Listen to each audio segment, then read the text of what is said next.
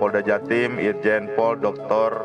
Niko Apinta bahwa pada hari ini Polrestabes Surabaya khususnya fungsi reskrim melaksanakan rilis hasil ungkapan terhadap perkara curat, curas, dan curanmor serta kasus menonjol dalam hal ini baik pembunuhan ataupun curas yang mengakibatkan meninggal dunia ataupun luka berat.